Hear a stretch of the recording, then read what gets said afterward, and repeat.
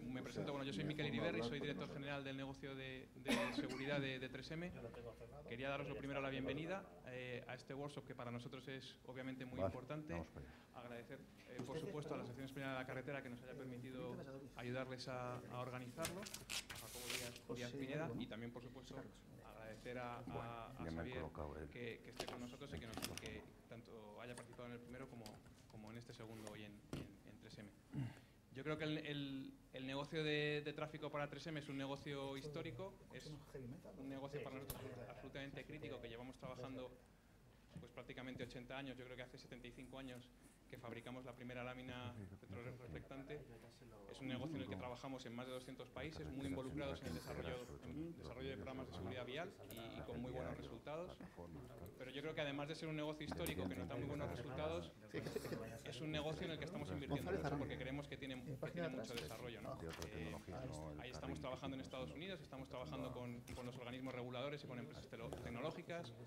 En Europa estamos trabajando con con fabricantes de coches y estamos invirtiendo mucho porque creemos, y yo creo que lo hablaremos hoy en, el, en, las, en las, sesiones, creemos que la carretera con todos los desarrollos tecnológicos que está viendo va a salir reforzada y va a seguir siendo el principal medio de transporte tanto de mercancías como de, de pasajeros. ¿no? Yo creo que Mario Lombán, que, que, todos lo conocéis o muchos lo conocéis, que es nuestro director de tráfico, luego tiene una sesión específica hablando de lo que nosotros estamos haciendo en el desarrollo de materiales de, de señalización y, y espero que os resulte, resulte interesante. Así que nada más, solo daros la bienvenida y agradeceros el, la participación.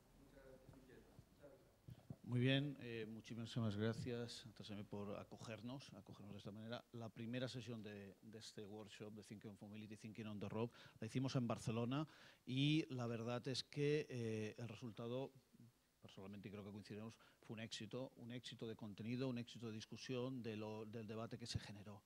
Permitidme mmm, explicaros una anécdota que intenta reflejar un poco el por qué estamos aquí ¿no? y lo que movió cuando en un momento la Asociación Española, y le quiero agradecer profundamente la confianza que dio en, nosotros, en la Generalitat, para comenzar e iniciar esta aventura, que seguro que será larga, más allá de este seguro que habrá muchos más. Eh, una anécdota de, en el siglo pasado, eh, a finales, por eso ¿eh? me pasó, a finales ¿eh? del siglo pasado, pues me tocó una vez estar en una cena, la típica cena que no conoces a nadie. Aquella cena de es la amiga de la pareja, qué tal, y te toca al lado otro que también era la, la pareja, era la prima de la... y estamos, empezamos a hablar. Y que yo pregunto así, ¿en qué te dedicas? Me dijo, no, yo estoy en el mundo de los móviles. Y ¿Y qué haces en lo, con los móviles? No, ahora vendrá una cosa, tal, 3G, 4G, esto será, habrá unas posibilidades, bla, bla, bla. Me explicó toda una serie de historias sobre lo que podía llegar a ser el móvil. Es verdad que aquello no llegó tan rápido como él decía, porque hubo la crisis de la bombolla tecnológica eh, en 2001, todo aquello, y tardó. ¿eh? Pero siempre recordé aquella conversación de decir que me abrió, y quizá le dio nombres diferentes a cosas que luego vinieron, y que me abrió a lo que después, eh, después pasaría, y al hecho de que hoy tenemos un teléfono que sirve para casi todo menos para hablar. Y que justamente en, se inició como el cortar el cable para seguir hablando, pero hoy sirve para muchas más cosas. ¿no? Y resulta que Víctor, que era esta persona, por aquellas casualidades de la vida, es el hermano de uno gran amigo mío. Luego lo descubrí, luego este amigo que surgió, y lo he vuelto a ver después. ¿no? Y cuando hemos comentado aquello, ¿te acuerdas cuando estabas, cuando me explicaste aquella, que él recordaba de aquella manera, eh, me dijo, no, no, pero es que era inevitable era inevitable. Aquello venía, podía tardar más o menos, pero aquello era un movimiento que se veía y que seguro que vendría. Hoy día están pasando muchísimas cosas también en el mundo, tremendas, tremendas. Inteligencia artificial, nanotecnología, eh, computación cuántica, telecomunicaciones cuánticas, que los chinos están apostando de una manera radical, etc. Y la sensación que tienes es que todo eso que viene es inevitable y producirá cambios. Cambios tanto en lo que representará cómo producimos, cómo hacemos, etcétera, pero cambios tanto o más importantes en la mentalidad de cómo nos enfrentamos al mundo y cómo entendemos al mundo. Y esto es aquello, por poner ejemplos, el concepto de sharing, de la compartir, será un concepto que será mucho más usual. Nuestros hijos seguro compartirán muchas más cosas que nosotros cuando vestimos de pequeños en P3, P4. Esto es para compartir, no sabemos lo que les estamos diciendo, porque en el futuro lo van a, van a ejercer muchísimo esto. O, por ejemplo, esto que los, los americanos lo definen como este continuous becoming, ¿no? La transformación continua, el hecho, no hay un producto acabado, no existe. El iPhone, por poner un ejemplo el iPhone 5 ya está pensando en el 6, el X, el 7, todo el mundo, nadie acaba los productos excepto quizá los que hacemos infraestructuras que nos pensamos que aquel puente es para 20 años y no haremos nada más durante 20 años, mantenerlo poco más.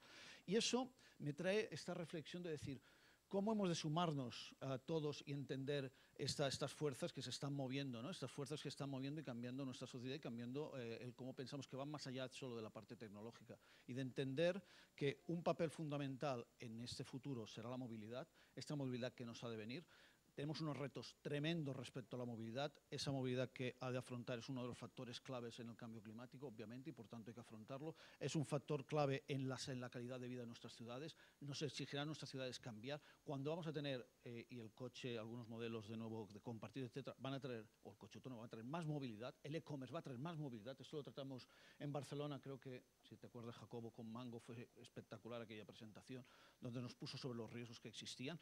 Y creo que eh, los que estamos en la infraestructura, los que nos dedicamos a la gestión de la movilidad, los que trabajamos alrededor de este mundo, tenemos unos retos eh, impresionantes por delante. ¿no? Hemos tenido una crisis eh, impresionante también para los que estamos en el mundo de la obra civil, pero lo que nos toca decidir es si seremos la generación que vivió la crisis y esta gran recesión o la generación que liderará esta llamada cuarta revolución industrial. Y en parte yo creo que una idea como la que tuvo la, la, Asociación Española de poder tener este foro, poder aquí eh, discutir, abrir la mente, ver cómo la infraestructura, qué papel puede jugar, es que, qué estamos dispuestos a hacer, no solo es oportuno, no solo es necesario, es imprescindible. Gracias, muchísimas gracias. Gracias, Xavi. Gracias, Miquel. Muy brevemente, tres, tres cositas solo. En primer lugar, evidentemente agradecer a, a, a Miquel, a 3M, por supuesto, Mario, mil gracias por por las facilidades. Mm, espectacular la sala, me parece que nos vamos a abonar. Nos vamos a abonar, yo le pediría a Xavi que vaya buscando fecha para el tercer laboratorio en Barcelona y le pediría a Miquel que, vaya reservando para el cuarto en, en Madrid por estas fechas. Por estas fechas nos venía muy bien. Disculpo a mi presidente, no puede estar con nosotros a primera hora, vendrá eh, a la sesión de la, de la, tarde, Juan Lazcano, hubiese encantado estar con nosotros, pero le ha surgido un problema. Y permitidme también, por, por el tercer evento, eh, lamentar la pérdida de una persona que hoy tenía que estar con nosotros. Es un consejero de la Asociación Española Carretera que, falleció lamentablemente el, el, viernes inesperadamente, Sandro Rocci, queridísimo de, de nuestra asociación, con una relación muy grande, si no como profesor, como compañero, como amigo, como consejero en la, asociación y, permitirme estas palabras de, recuerdo. Y por último, os pido que disfrutéis. Eh, hemos montado un programa muy denso, muy complejo, sentiros libres, interrumpirnos, interactuar. Eh, tendremos algún café, tendremos un, un, cóctel. Queremos que fluya energía de este, de este tipo de, de eventos. Queremos que los ponentes son del máximo nivel y la idea es aprovechar todo lo que ellos nos traigan y poder seguir generando ideas como esta. Y nueve y media es el momento de que los artistas suban al escenario. Yo voy a dejar mi responsabilidad de, presentador en las manos de Xavi y en las manos de, de, de Quique, de nuestro director técnico, o sea que todos vuestros y a disfrutar. Muchas gracias.